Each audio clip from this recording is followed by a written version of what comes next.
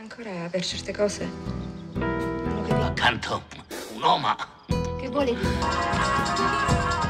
Welcome to my channel friends, and in this video, we will talk about the 1998 Italian film, The Second Wife.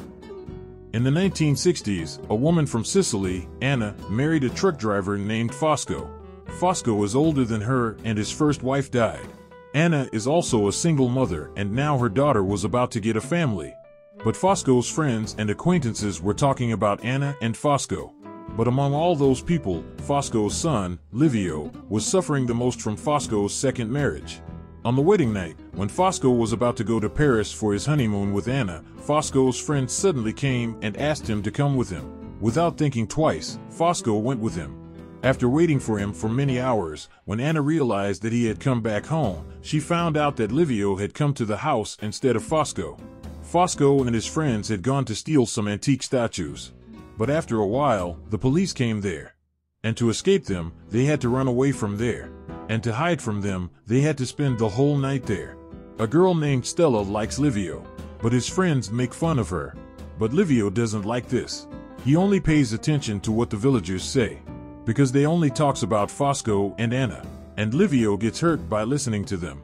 After a few days, they both came back from their honeymoon, and after many days, Anna was happy to meet her daughter Santina.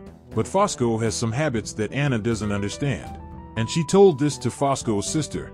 Livio's relationship with his father is not good, because he always calls him and her mother weak, and forces him to do double work, which is not even necessary. Seeing Fosco's behavior towards Livio, Anna told him that he shouldn't behave badly with his son in front of everyone. But Fosco didn't listen to her, and he said that he is neither Livio's lawyer nor his mother. That's why she shouldn't think about all this. The next morning, Fosco went to the city for three days to deliver some goods. And then Anna saw Stella. Looking at her, she got scared. Seeing Santina happy with Livio that day, Anna realized that Livio is completely different from his father, and Santina likes to live with him. When Fosco came back, he took Santina and Anna to a restaurant. In that restaurant, he realized that every man there has an eye on Anna. But he didn't know that Livio also likes Anna. Livio is a sensitive boy who believes in things like love. On the other hand, Fosco is a man who has nothing to do with feelings. And he talks such obscene things in front of others that no one likes to hear. Livio and his uncle both know that Fosco's purpose in marrying Anna is to show off in front of other men. And they also know that Anna is not like Fosco. She just wants love and is an innocent woman. One night while stealing, Fosco and his friends found an expensive antique piece. They were very happy to get that piece because they can get a lot of money in return. But the next day, while hiding it in the truck, Santina brought her friends there. And she said that she wants to show them the antique piece. Fosco was angry with this because he didn't want anyone to know about it, and he vented his anger on Anna. Livio then told him that everyone knows about his work, and this work is shameful. They had an argument about this, and Fosco said bad things about Livio again. Anna wanted Fosco to be a good father, so she asked Fosco to take Livio to work with him, but Fosco refused to do this. Fosco went away from there for a few days to smuggle the antique pieces. And then Livio started trying to know more about Anna, and they both became friends. One day, because of the hot weather, everyone started playing in the water. And in the game, Livio and Anna started coming close to each other. Anna was upset to see other women near Livio, but she couldn't say anything to her. Day by day, Livio was getting closer to Santina and Anna, and Santina had decided that she would grow up and marry Livio. Everything was going well. But one day, Anna found out that Fosco had been arrested for smuggling antiques. She said that he would be released in three to four days, but Livio knew that nothing like this was going to happen. Anna asked for help from Fosco's companions, but they said that they couldn't do anything about it. And after many days, Fosco remained in jail, where he started fighting. Anna was upset to see his condition, but when Fosco saw her crying, he started yelling at her. And he said that if she comes there, she should wear nice clothes and make her happy. Hearing this, she started crying. But it didn't make any difference to Fosco. When Anna came back home, she saw that only she was upset that Fosco is in the jail. And the rest of the people were having fun at Livio's birthday party. She was very upset about this. And Livio went to her to calm her down. Then Livio realized that Anna was upset about something else. After the party at night, Anna came to help Livio clean up.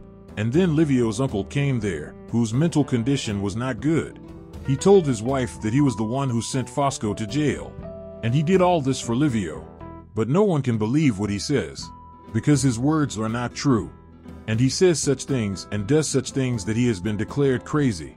That's why Livio was afraid that he was like his uncle, and soon he would lose his mental balance. The next day, Anna realized that Livio loved her, and she also started loving Livio. But she knew that this relationship was not right. She wanted to forget this and move on, and wanted to stay away from Livio. But Livio did not agree to this. And one night he slept outside Anna's room. When Anna found out this in the morning, she explained to Livio that he could not bother her like this. But still, Livio started trying to get Anna every day. And he also used Santina in this.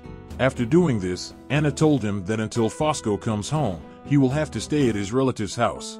And Livio was happy to hear this, because he understood that Anna also loves him. But she is stopping herself. That night, Livio and his friend stole alcohol and games, and they took them to the beach. After a while, Livio got drunk and went away from there, and came back to his house, while Anna had forbidden him to come there. He forcefully entered the house, and he got a head injury. Anna started taking care of him, but he started acting crazy like his uncle in anger, and he started telling Anna that he loves her. Seeing him, Anna could not stop herself, and she asked him to stay there. After that, she told Livio that she also loves him. The next morning, she went to meet Fosco, who started crying in front of her, saying that he could never be a good father. And Anna started feeling bad seeing him. When she came back home with Livio, she felt that there was someone else around her. And Livio found out that Stella had seen them together. Anna was worried about this.